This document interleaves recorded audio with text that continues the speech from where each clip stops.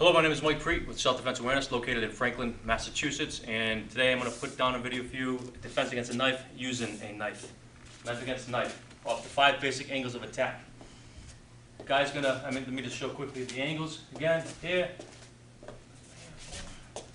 That's one, two, three, four, and five. That's pretty much how the guy's gonna be swinging a knife at you, he's holding it like this.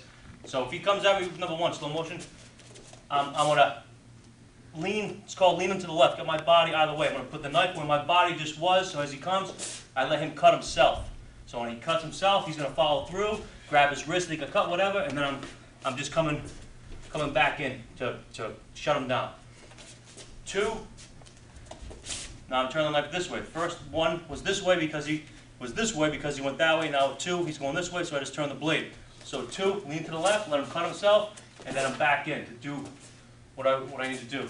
Three, lean to the left again, and you can either, three, you can either try to, to, to, to diminish that power with that hand, or you can just, just try to catch the, catch the uh, bicep with the, uh, the knife, and then you back in. Four, same thing, lean to the left, and then you back in. Five, cut, and you back in. All right? So one through five, one, back in.